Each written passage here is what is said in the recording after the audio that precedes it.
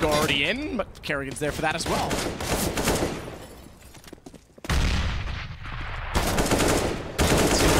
Micro, Karrigan's got it as well. Here we go. He's trying his best. He's got a chance. 10 HP. 10 HP and takes down NiKo without losing any further. It's 12 for Karrigan. Karrigan's got three kills. KRIMZ has two.